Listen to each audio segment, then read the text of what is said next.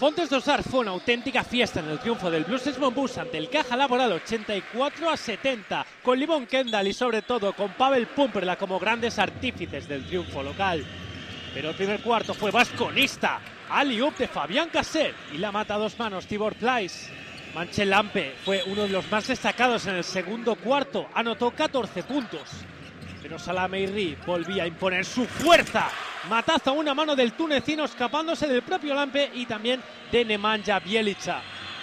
El serbio se mostraba inspirado en el rebote ofensivo, fue el mejor de los suyos con 23 de valoración.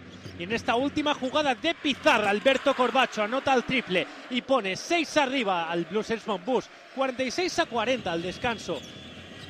Tras el paso por los vestuarios, más jugadas de mérito. Combinación entre Thomas Hertel, Tibor Pleiss y Milko Bielica que la mata a dos manos.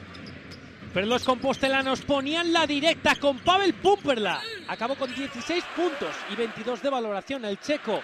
El contragolpe es para Fernando Sanemeterio y el gorrazo es de Livon Kendall, el hombre del partido con 33 de valoración.